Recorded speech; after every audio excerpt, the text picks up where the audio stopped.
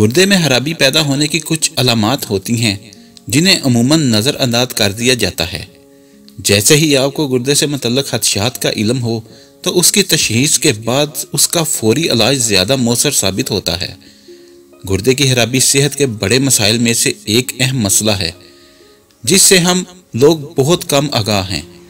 Subscribe کیجیے ہمارے channel کو اور اس بیل آئیکن کو ضرور دبائیں۔ سب سے پہلے بات کرتے ہیں علامات کی۔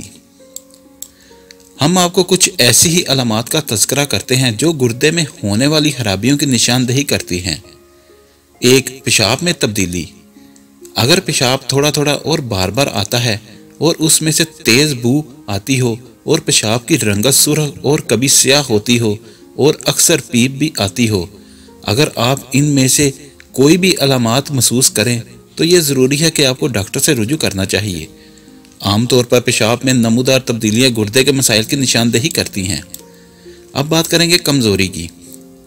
سردی سے بخار کا چڑھنا، طبیعت مالش کرنا اور کہہ آنا اس کے علاوہ جسم روز بہ روز لاگر ہونا، پیاس سر درد اور بے خوابی کی شکایت کے پیش نظر آپ اپنے ڈاکٹر سے رجوع کریں اور اپنا معائنہ کروائیں۔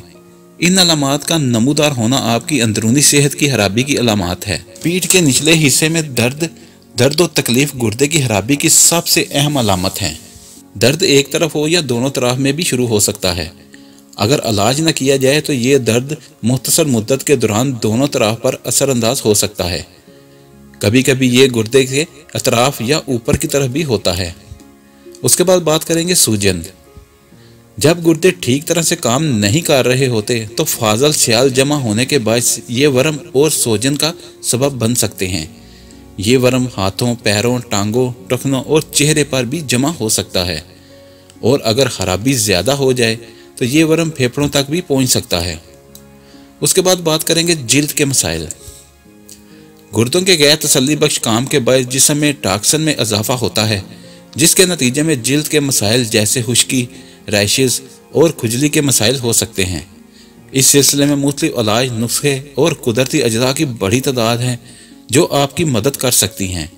تاہم، یہ اس کی بنیادی وجہ کو حل کرنے کے لیے ناکافی ہے۔ اب بات کریں گے اکسیجن کی کمی۔ گردوں کا اہم کام ایتھروپوائنٹ کی پیداوار ہے۔ یہ خون میں اکسیجن کی کمی سے گردوں میں پیدا ہونے والا ہارمون سے جو ہڈیوں کو گودے پر اثر کر کے خون کے سرخ حلیوں کی تیاری کا باعث بنتا ہے۔ جسم میں سرخ خلیات کی کمی، انیمیا اور آئرن کی کمی کا باعث بن سکتی ہیں۔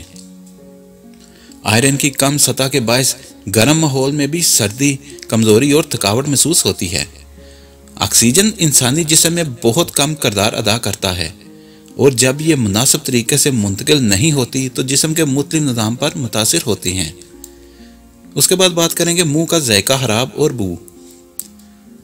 اگر آپ کو کسی بھی چیز کا ذائقہ بدلا ہوا محسوس ہو، کھانے میں کسی بھی چیز کا ذائقہ آپ کو اچھا نہ لگے، منہ میں بدبو محسوس ہو آپ کو گوشت کھانے کا دل نہ کرے اور نہ کھانے کے باعث آپ کا وزن تیزی سے کم ہونے لگے، تو یہ گردے کی خرابی کی علامت ہو سکتی ہے۔ اب بات کریں گے آخر میں مفید تجویز۔ مفید تجاویز۔ نمبر ایک، زیادہ سے زیادہ پانی کا استعمال۔ نمبر دو، تمباکو نوشی سے پرہیز۔ نمبر تین، اپنے آپ کو روزانہ جسمانی سرگرمیوں میں مشغول رکھیں۔ نمبر چار، کافی چاکلیٹ اور چینی سے بچیں۔ نمبر پانچ کروندہ کا جوس پئیں نمبر چھ، زیادہ ٹھنڈی اشیاء اور ٹھنڈے مشروبات سے پرہیز کریں۔ نمبر سات، اعتدال میں رہتے ہوئے روزانہ اپنی غذا میں پروٹین، کاربوہائیڈریٹ اور معیاری چربی کا استعمال کریں۔ نمبر آٹھ، زیادہ کھانے اور دیر رات کھانے سے پرہیز کریں۔ اگر آپ کو ہماری ویڈیو اچھی لگی ہے تو اس کو لائک اور شیئر کریں اور ہمارے چینل کو سبسکرائب کرنا نہ بھولیے۔ شکریہ۔